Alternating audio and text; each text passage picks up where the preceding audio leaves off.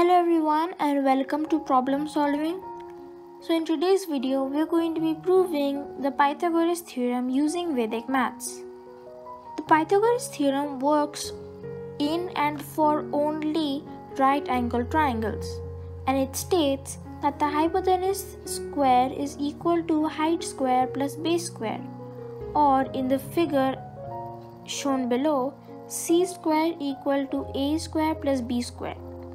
So let's move on to the solution. To do this, we're basically going to be trying to make a square of side C. From here to here, here to here. So you can see that I have made a square of side C. This is my square of side C with a small square in the middle.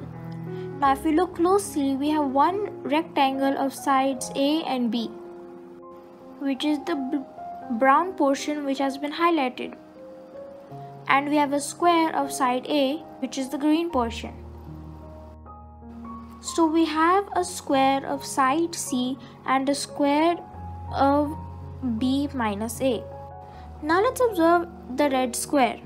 To find the area of the red square, which is c square, we have to find the area of the small square, which is b minus a, plus the area of the four triangles. So we have c square is equal to b minus a whole square plus 4 times a times b divided by 2 and 4 and 2 will be cut and you get 2 left so c square is equal to b square plus a square minus 2ab and plus 2ab. Now the 2ab and the 2ab will be cut and c square is equal to b square plus a square. So that's the proof of the Pythagoras theorem.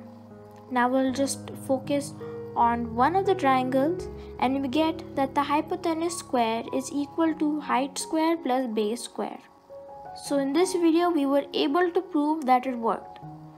Let me know in the comments if you got any other ways of solving it because this is just one of the ways I got. Thanks for watching. Hope you liked the video. Please like, subscribe, share and comment and share any puzzle that you would like me to solve. Thanks for watching and have a good day. Bye.